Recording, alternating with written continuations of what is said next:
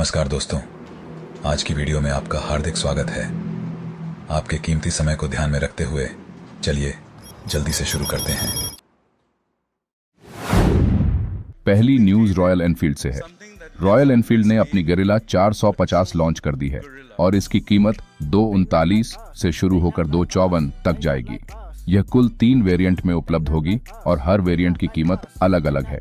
पहले वेरिएंट की कीमत दो उनतालीस है। दूसरे वेरिएंट की कीमत दो उनचास है, और आखिरी वेरिएंट, या हम कह सकते हैं कि तीसरे वेरिएंट की कीमत दो चौवन है।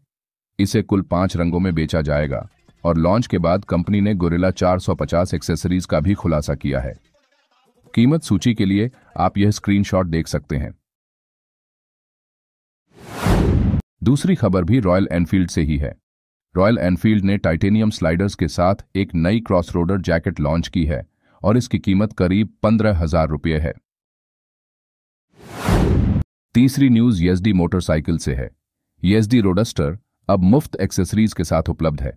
एक्सेसरीज की कीमत लगभग आठ से सोलह हज़ार रुपये है। चौथी न्यूज़ बजाज मोटरसाइकिल्स से है। बजाज मोटरसाइकिल्स ने अपनी नई फ्रीडम एक 125 सीएनजी मोटरसाइकिल के लिए देश भर में बुकिंग शुरू कर दी है। यह तीन वेरिएंट में उपलब्ध है। पांचवी न्यूज़ सुजुकी से है। सुजुकी ने अपने तीन स्कूटरों के लिए नए रंग लॉन्च किए हैं। पहला है सुजुकी अवनी 125 इसके लिए कुल चार रंग लॉन्च किए गए हैं। दूसरा है सुजुकी बर्गमैन स्ट्रीट। इसके लिए कुल एक रंग लॉन्च किया गया है। इसके बाद सुजुकी एक्सेस 125 है और इसके लिए भी एक रंग लॉन्च किया गया है। आज के लिए इतना ही। रोज बाइक न्यूज़ से रिलेटेड वीडियो देखने के लिए अभी सब्सक्राइब करें।